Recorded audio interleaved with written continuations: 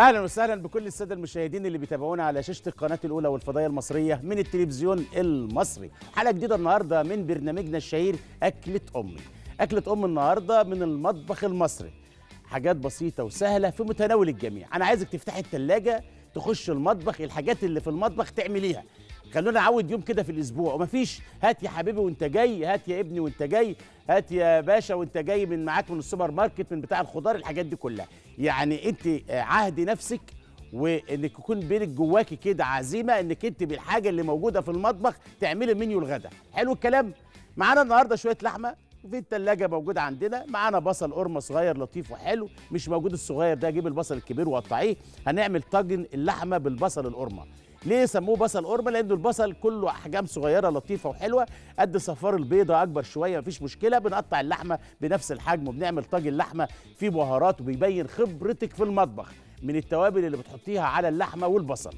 معانا كمان النهارده شوية رز حلوين الرز اللي هو حبة وحبة مشهور في الريف المصري والصعيد المصري اللي بوجه له تحية كبيرة من مزبيرو من على الكورنيش من هنا بنقول لحضراتكم الأكلات بتاعة الصعيد وبتاعة الريف المصري إحنا دايما بنفتخر إن إحنا نعملها بداية من الملوخية بالأرانب والملوخية ال- ال- طبعا اللي هي الباردة بالمية الساقعة المشهورة في الصعيد والحاجات بتاعة الصعيد وطبعا عارفين كلنا الكشك الصعيدي اللي بنعمله دايما.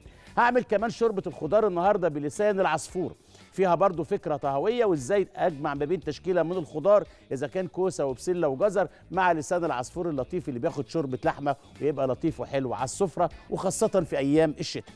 معايا طبق سلطة النهارده أو نقدر نقول طبق مقبلات أو نقدمه سخن أو بارد ومشهور في الري... في المطبخ الشامي بالذات اللي هي يخنه الفاصوليا الخضراء موجودة دلوقتي في السوق بكثرة. فنستغلها طبعا لطيفة وشكلها حلو وإزاي إيه الأسرار اللي ممكن نسلو بيها الخضار زي الفاصوليا زي البروكلي الحاجات اللي لازم نحافظ على خضارها ولونها وإحنا بنستخدمها. فخلونا نشوف أسرار للموضوع ده وإحنا شغالين مع بعض بإذن الله. أنا مش عايز اطول حضراتكم لأن حلقاتي فيها تفاصيل وفيها معلومة غير معلومة وكمان أفكار طهوية بأقل تكلفة ممكن. تفتحي باب التلاجة تخش المطبخ تسمي بسم الله اللي موجود هتعمليه. أو هتروحوا بعيد تابعوني بعد الفاصل.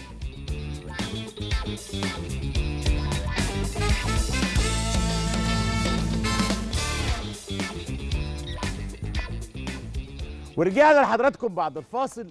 ترتيب الشغل وإنك أنت تجهزي الماتيريال بتاعك اللي هي المقادير بتاعة الأكلة بتلعب دور مهم جدا في إنك أنت ما تقفيش في المطبخ وقت كبير حتى لو هتعملي محشي حتى لو هتعملي ديك رومي.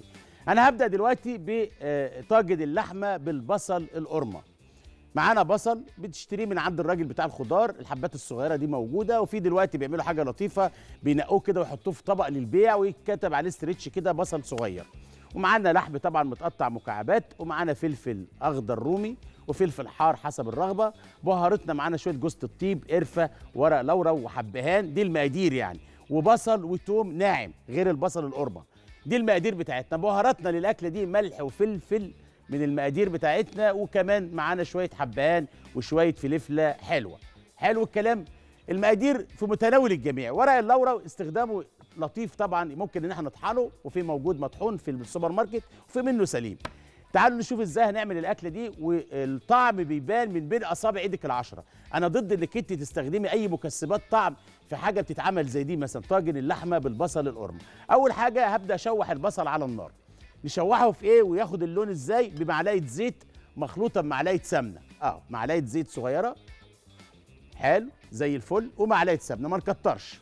عشان اللحمة اللي معايا دسمة شوية فيها نسبة دهون تقريبا من 20 ل 30% وادي كمان معلقة سمنة صغيرة زي الفل. حلو الكلام. ومعانا البهارات بتاعتنا اللي هنستخدمها. لأن الأكل دي شوية إيه محتاجة تركيز. وادي البصل الصغير الحلو. بالشكل ده كده ياخد لون. أنا بقى لما الطبق ده يستوي ويبقى طاجن اللحمة مع البصل أسيب اللحمة وآكل البصل. أنا عاشق للبصل السليم لما يكون في قلب الملوخية في قلب الشوربة عاملة شوية كوارع جواهم بصلتين سلام حلوين. الحاجات دي بتفرق معايا قوي على فكرة على السفرة يعني. وخاصة البصل السليم جوه الملوخية. آه. أسيب البصل ده يتحمر. ما تحطيش أي حاجة عليه خالص غير إن البصل يتحمر. واصبر عليه لما ياخد لون لون فوسفوري كده أو لون براون يعني. أهو بالشكل ده كده. يبقى بني فاتح. نعم يا غالي بيقول لي نستخدم البصل الأحمر. مش مشكلة. هو الأبيض حلو بيبان لونه طبعا بعد التحمير. إذا مش موجود نستخدم لونين مفيش مشكلة. يعني دي مش هيفرق الاتنين طعم واحد. بس الأبيض أفضل بكتير طبعا لما نستخدمه في الطاجن ده. بيبقى حماره حلو مع اللحمة. آه. بنكونوا إحنا بنجهز الفلفل الرومي بتاعنا اللي هنستخدمه. مع الطاجن ده كده. اعمل القرص الطرية إزاي وادمس الفول في البيت. وأنا أيوة. مع. انك انت تعملي الفول وتدمسيه في البيت. مع احترامي طبعا لإخواننا وحبايبنا اللي بيبيعوا الفول بس أنا لما أدمس شوية فول في البيت طعمهم بالتأكيد هيختلف يعني. تحت أمرك يا ست الكل. تدميس الفول في البيت بتجيبي كيلو فول بتغسليه مرة اتنين تلاتة وتنقعيه في مية. عايزة تعجلي موضوع التسوية بتنقعيه في مية مغلية. لمدة مثلا 3 4 ساعات 5 ساعات كل ما يتنقع كتير كل ما ياخدش وقت كبير من السوى وبعد كده بتحطيه على نار هادية ياخد غلوة بيكون جنبه مية بتغلي كل ما يحتاج مية يا عم علاء نزوده من المية المغلية. عشان الفول ما يسودش يا عم علاء لازم يتحط عليه مية مغلية ما يتحطش عليه مية باردة. حاضر إن شاء الله بإذن الله. البصل يتحمر ياخد اللون البراون ده كده أهو. مع الفلفل عشان كله ياخد من بعضه. ما تنزليش باللحمة خالص دلوقتي اللحمة دي مش تاخد وقت كتير في السوا. على البصل ما يتحمر استغل وقتي كنت واقفه في المطبخ. نعمل الرز اللي هو حبة وحبة لأن هياخد وقت مننا شوية في السوا. طب عندك شوربة للرز ده يا شيف؟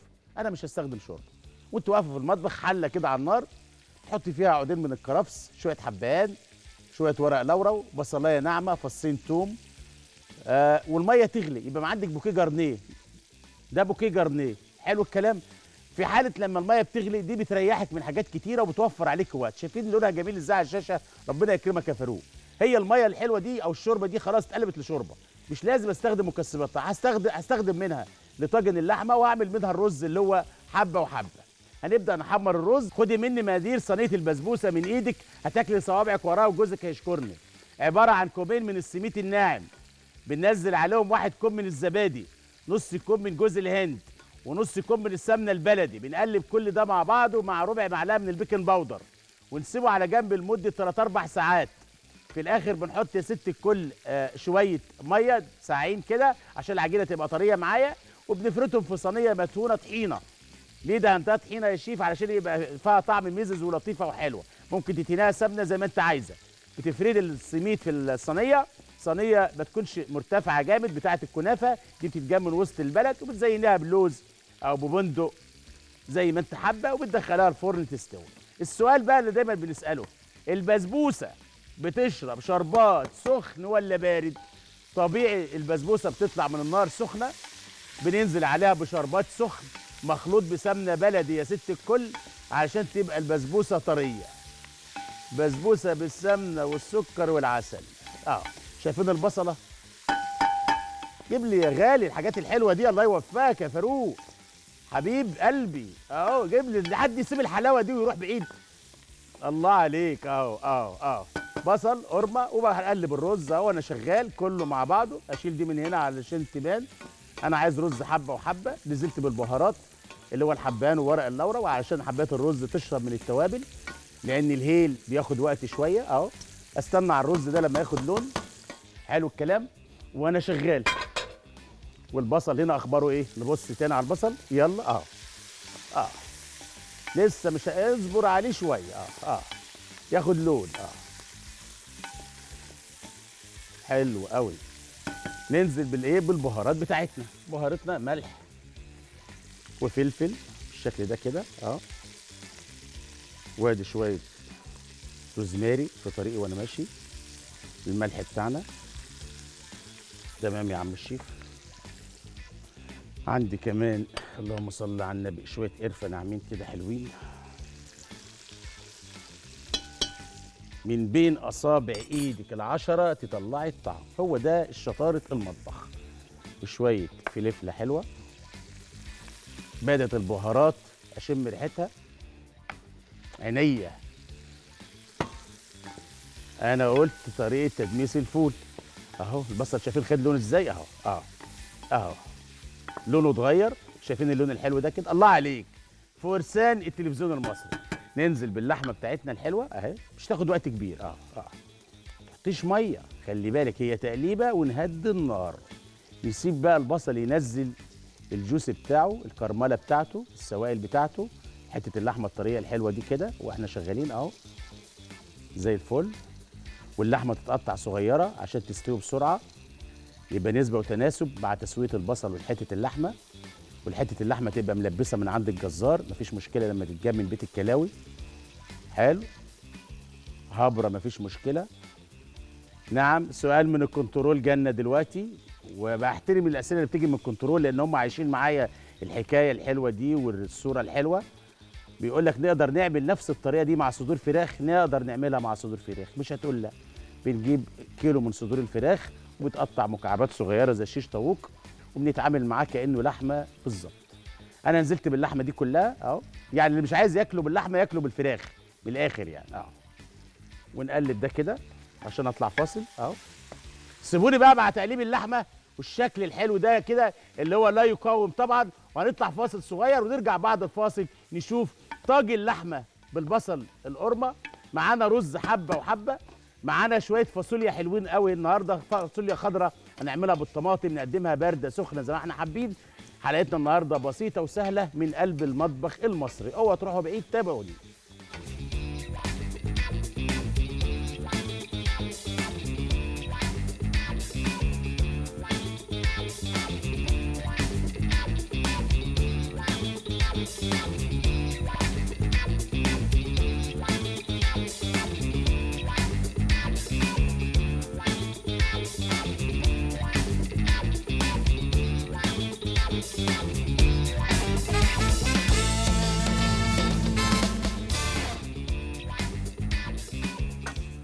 ورجعنا لحضراتكم بعد الفاصل لشويه رز بعملهم النهارده. بصراحة أنا بحبهم. بيعجبني قوي الرز زي لسان العصفور كده لما يشرب السمنة البلدي اللي بنحمر فيها ويبقى كده حبة وحبة بالشكل ده كده أهو. زي الفل. ونجيب الرز التاني الأبيض. إحنا اتفقنا إن إحنا بناخد شوية نحمرهم. نعم أهو زي الفل. ونقلبه مع بعضه. نظبط الملح بتاعنا وزي الفل. مش لازم. السؤال برضو من ال control النهارده بيقول لي إيه يا شيف مغازي؟ هو شوية الرز اللي هو اتلون ده يكون قد الكمية اللي. لا مش يعني باخد ده تقريبا ربع الكمية. آه آه ونقلب دول كده مع بعض. آه فندم. حلو سؤال من على ال social media. طب مين يا أستاذ رحاب؟ عشان نقول اسمه كده نشجع الناس كلها. اللي مش عايز يتصل بينا نقول اسمه على السوشيال الأستاذة سارة بتسأل ينفع أعمل طاجن البصل ده بالعكاوي؟ آه ينفع بالعكاوي يبقى لطيف وحلو. استخدمي الحبان والمستكة عشان المستكة طبعا بتشيل الزفارة بتاعة العكاوي. الرز عندي لطيف اهوته حلو زي الفل. عندي بوكيه جرنيه من المية. مية بتغلي باخدها كده اهو زي الفل. اللهم صل على النبي آه. يلا. إيه الجمال والحلاوة دي يا شيخ؟ إيه الحلاوة دي؟ آه آه. ده المطبخ. لا جبت مكسبات طعم ولا حاجة. آه هتلنا أحط مية كده لغاية لما المخرج يقول لي بطل تحط مية. آه آه. هحط الحلة كلها ولا إيه؟ آه زي الفل تمام. خلاص. يلا خلصت الايه الاكله دي. آه، واغطيها وأسيبها بقى على نار هادية. واتقل على الرز لما يستوي. زي الفل. إيه فكرة إن أنا أحمر الرز حبة وحبة؟ فكرة إن الرز اللي أنا حمرتهم بيشربوا شوية السمنة الحلوين دول فبيبقوا طعمهم حلو في قلب الرز زي الشعرية كده تبقى لطيفة وحلوة. أكلة يعني مشهورة في الريف المصري والصعيد المصري. طبعا نظافة في إيدك كده أول بأول عشان المخرج ما يزعلش مننا. حلو الكلام. ونقفل الحلة ونغطيها. ودايما الشيف المغازي يقول لك معلومة غير معلومة. لما تيجي تعملوا الرز بشعرية رز حبة وحبة أي نوع رز بتعمليه لازم توطي النار على الرز بعد ما ياخد غلوة.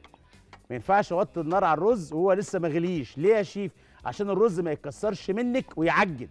لازم تشوفيه بعينك كده وبرؤية عينك إن هو بيغلي. تبداي تهدي النار عليه. آه آه. وطي النار يا عم الشيف أو تاخده على نار هادية. حلو الكلام؟ آه زي ده كده. وتعالوا مع بعض نبدأ في الفاصوليا بالطماطم. وهنتكلم عنها كلام كتير قوي على فكرة. معلوماتها كتير بس خلونا نبص على اللحمة أخبارها إيه؟ الله حلو قوي الصورة الحلوة دي كده. آه. جيب لي الهوبر يا غالي. آه. لحم بصل قرمة. آه شايفين الطاجن ده؟ آه ما نزل ما حطيتش مية. هي بميتها كده لوحديها بتنزل حتة اللحمة ملبسة مع البصل القرمة كلها مع بعضيها واسيبها كده على نار هادية. آه، لغاية لما ميتها تنشف شوية واحط لها معلقة هريسة حمراء وادخلها في الطاجن كده وأحطها في الفرن. البصل ده بقى تلاقيه فك من بعضه كده ويسيب بعضه وإحنا إيه بناكل. حلو الكلام بس لازم تغطيها. السر في تسوية اللحمة بالبصل كده لازم تغطية الحلة وهي على النار.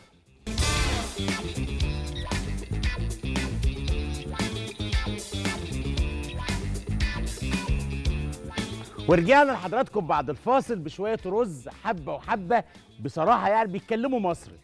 رز مصري اخترعنا اختراع جبنا سمنة بلدي حبرنا شوية منه وفي الآخر نزلنا بالكمية الباقية ونزلنا عليه شوربة متوصى عليها بوكيه جارنيه.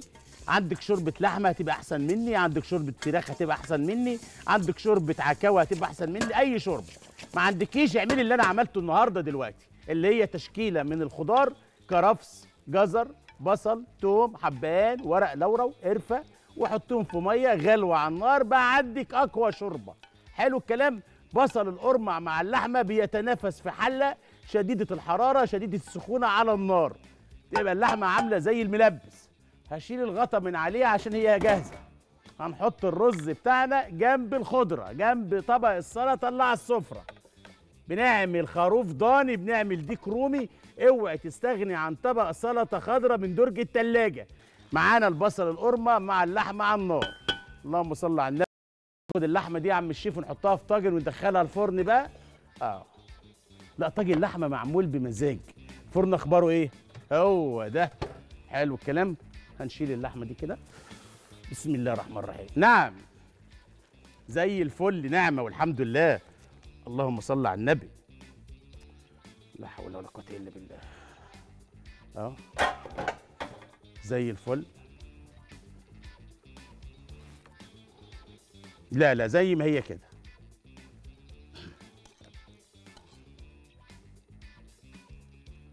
حلو كده أهو.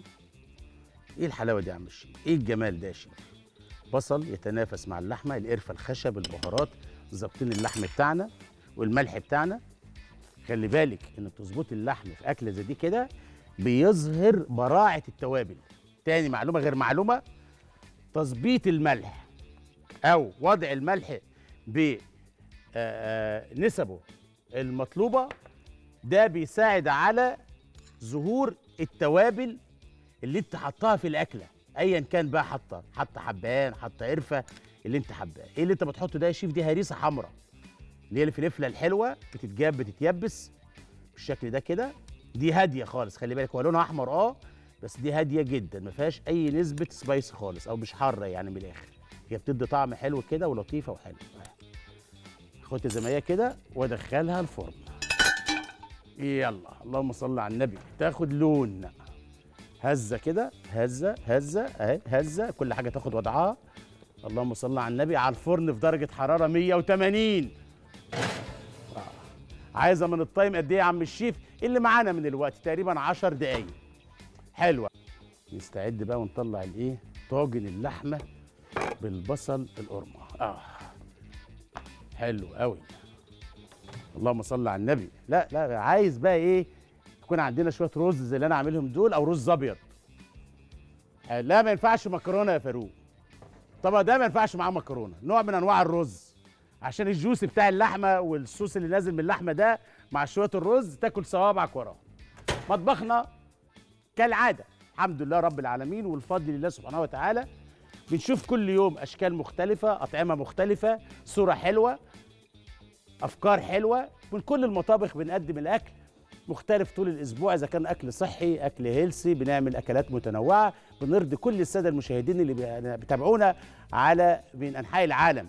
القناة الأولى بتاعتنا طبعا متشافة بره في كل أنحاء العالم وفي مصر وأم الدنيا. فإحنا بنرضي كل الأذواق. ومن خلال ال social media بنعرف وبنجس النبض. عايزين حضراتكم إيه بنعمله؟ وبنتواصل معاكم وإحنا عايشين مع حضراتكم حكاية أكلة أمي لأنها لطيفة وحلوة وكل واحد مننا له ذكرى مع أمه مع جدته مع طبعا الأسرة في الأكلات الحلوة اللي بيحبها. ممكن يسافر بلاد العالم كلها يروح يسافر الريف المصري الصعيد المصري مهاجر بره يرجع عشان ياكل أكلة حلوة هو بيحب ياكلها من إيد والدته.